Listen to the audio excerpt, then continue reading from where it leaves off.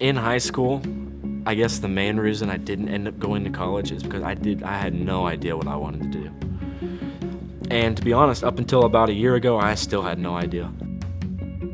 And once I got a job at Blum, it just kind of clicked.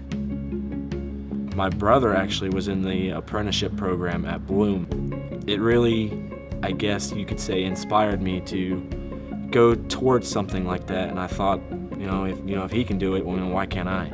So you know, I put in an application, and finally, you know, he, he got me a job here at the company. It's a little weird being the the younger brother, but he's the one at work where I have to look up to him. He helps me throughout the day if need be, and overall, it's just you know, it's, it's pretty cool working with your brother. You know, to be honest, I wasn't sure I wanted to be in the field to, to start. Once I got here, I started, you know, did the job, got training on it, and I was like, you know, this looks like something that, you know, I could do for the rest of my life. Basically at Blum, we make hardware for the kitchen cabinet industry, cabinet door hinges, drawer slides. We get these coils that get brought into the company, and basically I'll take that coil and load it onto the machine where we're gonna feed it into the machine to make the product. I look at it as kind of like a video game. You keep the press running longer, you make more parts, parts equal higher score. But, you know, if I get the most parts or I'm running a certain amount of parts, as long as they're good parts, it's like I got the highest score, so I won the game for the day. It's, you know, it's my favorite part. It's just, you know, working around with other people, trying to figure out problems on how to make it work better or what's more safe and efficient.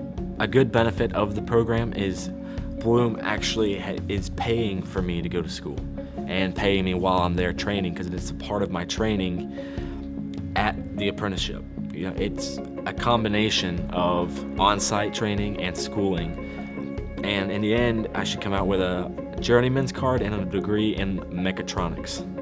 It's definitely a lot of work because I believe it's it's 1,800 hours of schooling and 7,200 hours of general on-the-site job training. You know, so it's a it's a total of 9,000 hours, and it, that's a, that's a lot of work. You know, that's that's four years of work.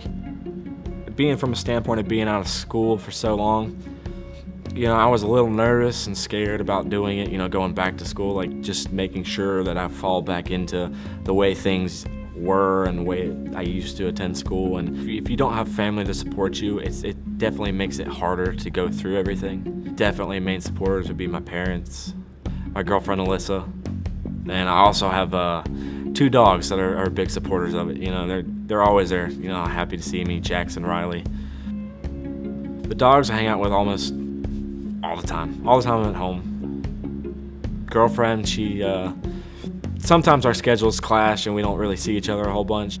It's definitely hard, especially when, you know, you, you want to be together and you want, you know, to share and do all this stuff. But sometimes you just gotta, you know, stick it out.